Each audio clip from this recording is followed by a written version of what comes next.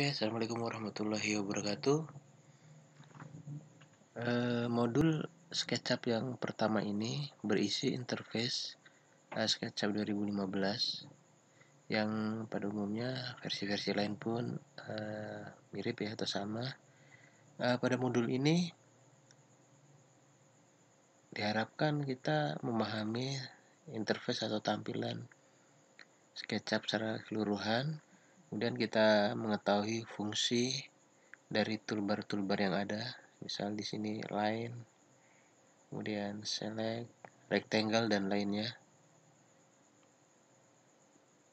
Di sini eh, saya kelompokkan menjadi beberapa gambar berserta eh, kegunaan serta nama dari tool tool tersebut.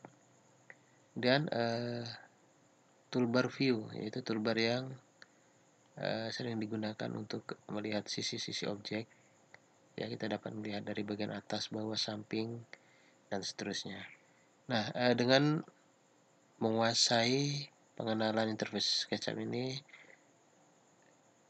dapat mempermudah nanti ketika uh, proses membuat objek-objek dasar maupun objek-objek yang tingkat lanjut sehingga dengan menghafal atau tahu dari Fungsi dari tools-tools yang ada akan mempermudah untuk uh, melakukan praktek praktek berikutnya.